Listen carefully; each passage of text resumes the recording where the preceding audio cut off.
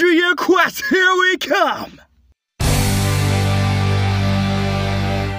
I'm all fired up!